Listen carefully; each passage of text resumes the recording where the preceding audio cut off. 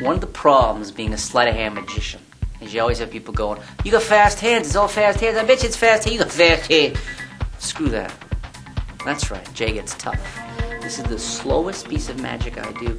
Watch as carefully as you want, Maya. You still going to get fried.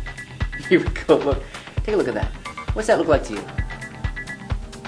A gold key. Nice. It's actually brass, but it does look like a gold key. Along with this, I'm also going to use a coin. A nickel. Which I should have that note. Do you have, do you have, a, do you have a nickel? Now I'm only going to borrow a nickel because I haven't done this many times, and if I screw it up, I don't want to. It vanishes. I don't want to have to owe you a quarter or something. Okay, so a nickel. Okay. Here we go. Look.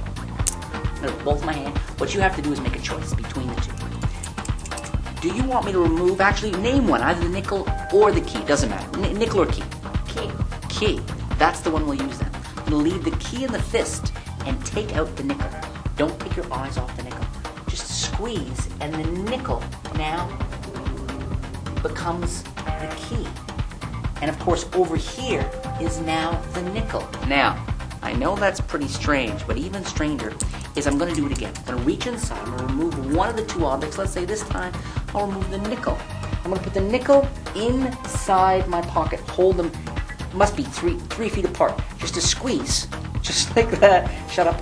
And with any luck now, there is once again the key, and there is the nickel. And the wild thing is that both objects can be completely hidden. Thank you so much for